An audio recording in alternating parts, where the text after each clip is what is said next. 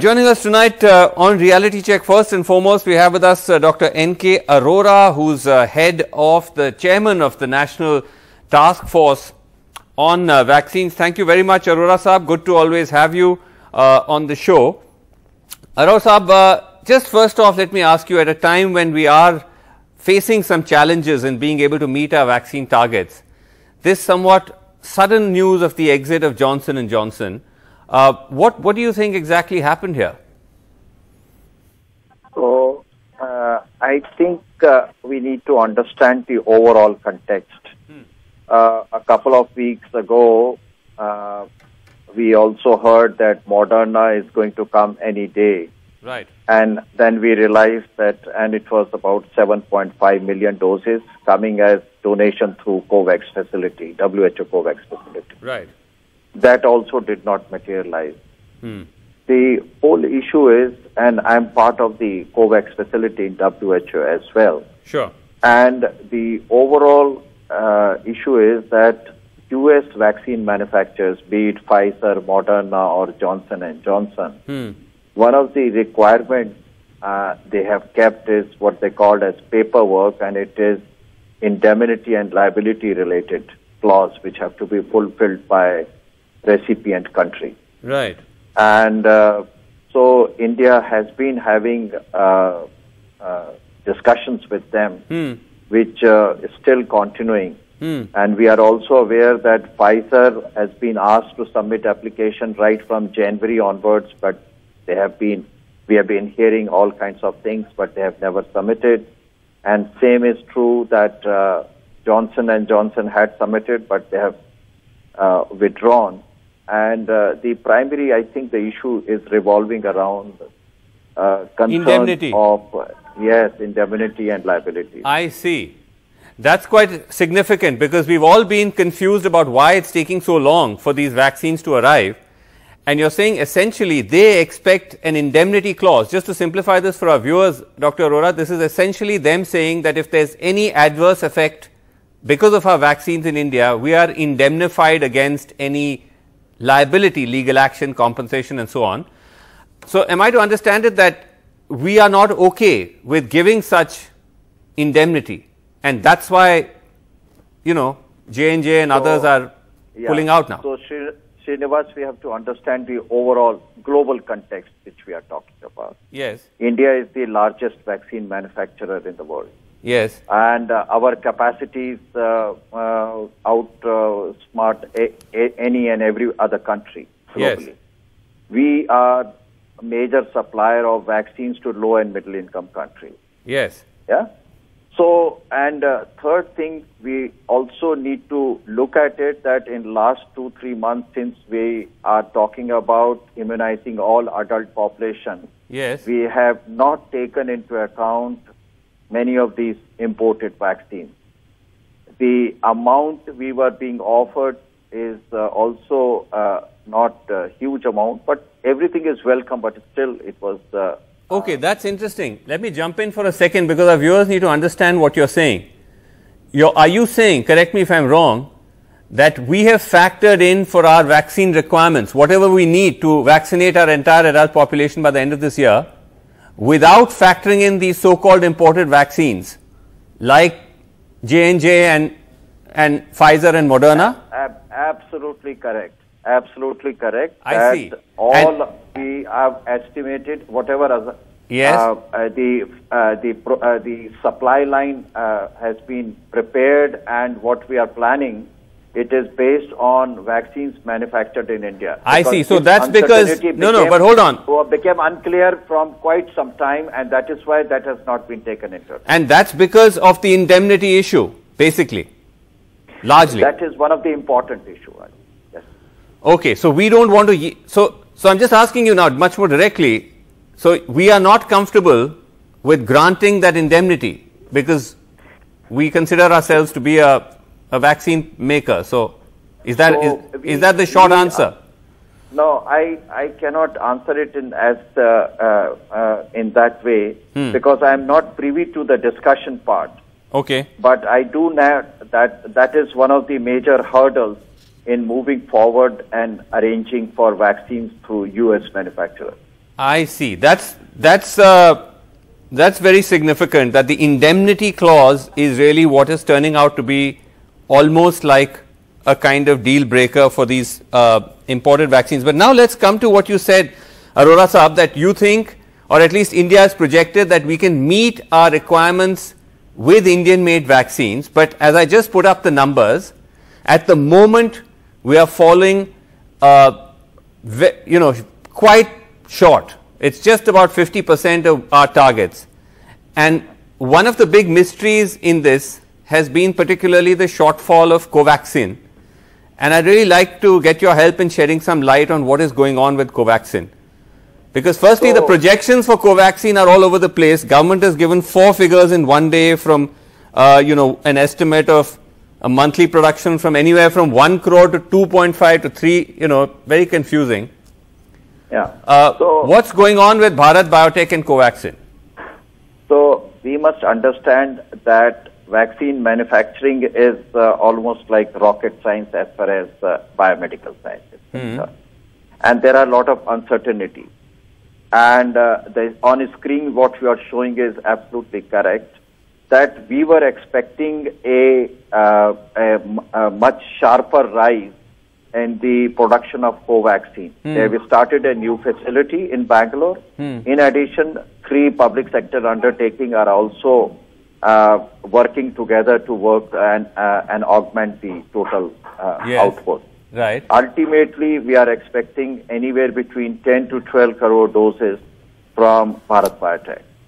No, but and, by uh, but by when? Just, but, by, let me let me yeah. complete. Let me complete. So there, uh, the Bangalore plant is one of the largest vaccine manufacturing plants globally, and uh, but initial couple of batches did not pass the quality, uh, uh, the whatever issues. I mean, it did not pass the uh, the the it was not of the right quality. But the third or fourth batch has now come up and which is uh, which has moved forward. So we hope that in the next four weeks or six weeks, the vaccine uh, production will really ramp up from Bharat Biotech because we must understand that Serum and Bharat Biotech are our two major suppliers.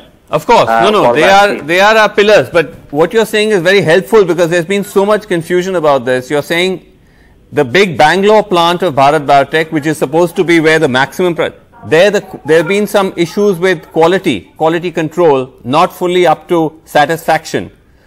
And, and that's caused some delay. So they have now reported that uh, they have started production. They are in the second batch, first batch, which, uh, which was uh, clear for uh, quality, and then now second batch and now a very rapid ramping up of uh, the manufacturing will uh, okay. will go up. Now, rapid so ramping up weeks, is in the next few weeks we will have an exponential increase in production from that side. That's what is expected. Okay, I, that's what I want to understand because, uh, with all respect, we've been hearing this for a long time that you know this month it will jump, this month it will jump. We're talking about a jump if they're if they're going to if you are expecting you need 30 crore doses a month to do a crore a day. At the moment we are only at about 14 15 bharat biotech will literally have to go from 1 or 2 crores to 10 crores. That's a 5 to 6x jump dr arora. Is that yeah, possible? so, uh, yes uh, uh, I am given to understand that in next few weeks it is possible that they will increase several fold of their current uh, production. But but and, what about uh, the, the is, but, what, but what about the, the overall no, no. I also wanted to ask you about the public. You mentioned there are three public sector units which are also supposed to manufacture it. There's some suggestions that they've not actually got the the information, the science from Bharat Biotech yet. They've no, not no. started yet. Uh, see Indian uh, uh, Indian Immunological, which is I think also Bangalore based, mm. they would be coming up uh, with the production in uh, next two months or three months. Mm. The other two, the uh, the the Haffkine and the Bibcol, mm. they have to uh, set up basic infrastructure and they may take much longer time. Hmm. But uh, the technology transfer is uh, on track and I, that is going ahead. I don't think there is uh, any problem in that. And as far as uh, Bangalore plant, once it starts producing, the ramping up, I, I, I understand that uh, even the raw material and other things are in place so that we should be able to get adequate amount of vaccines uh, okay. from Bharat Because. Okay, so it's not just Bharat Biotech because if you look at the projection you've done that uh, to hit about 135 crore doses by the end of the year, uh, it includes Covaxin, but it also includes BioE, which is 30 crore doses, Sputnik, 10 crore doses, Zydus Cadila, 5 crore. Now, there are question marks over all of these, as you know. You know, BioE, again, there are questions over, uh, you know, have they cleared all the, have they, is all the due diligence done? Sputnik, you know, you're getting different problems with dose 1 and dose 2. So, Yeah. isn't, aren't So, these matters yeah. of concern? Uh, so they, they, uh, these. Uh, so I will take one by one. Cadila Zydus, uh, uh, we should be able to get that uh, in uh, any time now. They were expected to submit additional uh, data and analysis. okay. The second is uh, biological E. Biological E is committed to uh, give 30 crore doses by the end of this year. Hmm. And uh, uh, as I understand, their phase three is starting. Phase two is over. Third thing is you talked about Sputnik. Yes, there is a issue of uh, the the there is a dis, uh, kind of a discrepancy in the manufacturing of dose one and dose two. This was there. This Yes. was a uh, yeah. So dose two preparation is slower than dose one. And this is not only in India, but it's a global issue. Even in Russia, they are having. I so see. we are looking at yeah. So we are looking at the data, and it should be uh, it should be available uh, uh, within next. Uh, Indian uh, companies have started manufacturing, and Serum Institute is also involved in that. Okay. And So, another vaccine which you have forgotten is uh, uh, Gennova's mRNA vaccine, right. which would be available in the first half of uh, October. Okay, So- let me ask you in conclusion, Dr. Arora, because, Yes. uh, you know, at the end of the day, if we just step back, is this all realistic? You believe this is the right path we are taking, where we seem to be almost shutting the door on these other options like Pfizer, Moderna? These are considered to be amongst the most effective vaccines globally. Um, other countries have waived the indemnity clause. We are refusing to do that clearly. It, If Is that a mistake? Pfizer, if Pfizer and Moderna were ready to give us 100 or 200 million doses, then probably it could have been considered uh, in a different manner. They are talking about a few million doses. Uh, a 7.5 million Moderna dose, uh, I am sure you can understand how much. Even in uh, Saket, it will be un- insufficient. I mean, one has to look at the the volume and the what right. is required. 7.5 million So- is about 75 lakhs, which is, we'll, we'll get through that in two days' time at our current rate. Yeah, that is that is what it is. That uh, the amount available through these uh, uh, whatever routes are is uh, is, is minuscule as far as our country requirement is concerned. I And, see. so uh, if they were willing to offer bigger amounts, we may have been Yeah. willing to waive uh, the uh, We look at the whole issue. We we may we, we will look at the. There was a possibility of re-looking at the issue in a more uh, different manner, but the amount available is minuscule. So you and being a largest vaccine manufacturer, we have to look at our industry's uh, uh, well-being uh, beyond uh, December and uh, beyond our own requirement. And I, this may look presumptuous a statement, but 2022 onwards, I think we will be one of the major vaccine supplier to the rest of the world. Wow. okay. That truly, I don't.